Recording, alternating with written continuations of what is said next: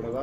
साथियों, कारण ये रहा कि उसके साथ आपको कह रहा हूँ मुझे लगता है भारतीय जनता पार्टी के नेताओं ने जो तीन, जो आज़ाद विधायक हैं, ठाकुर जयराम ठाकुर जी ने उनके ऊपर इतना दबाव बना दिया है कि उनको आज वहाँ विधानसभा परिसर में भेजा धरना देने के लिए। धरना देने का मुझे लगता है कोई औचित्य नहीं है।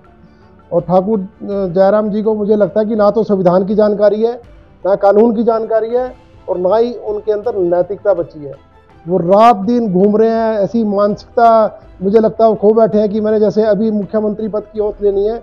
जब विधानसभा अध्यक्ष ने तीन निर्दलीय विधायकों को एक शोकज नोटिस भेजा कि आप जवाब दायर करें, दस अप्रैल तक का उनको समय दिया तो उनको अपना जवाब दायर करना चाहिए।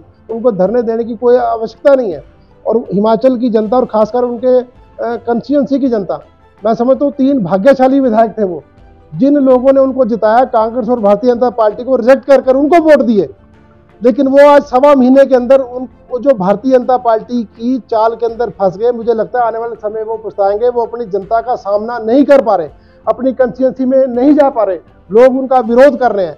और उस उस करके जयराम ठाकुर और भारतीय जनता पार्टी उनसे अनैतिक काम करा रही है, आज जो उन्होंने धरना दिया, कांग्रेस पार्टी उसका विरोध करती है, और इस धरने का कोई औचित्य नहीं है। कांग्रेस अभी भी बहुमत में है और आगे भी बहुमत में रहेगी। छः के छः जो भी चुनाव घोषित हुए वो छः के छः चुनाव कांग्रेस पार्टी जीतेगी।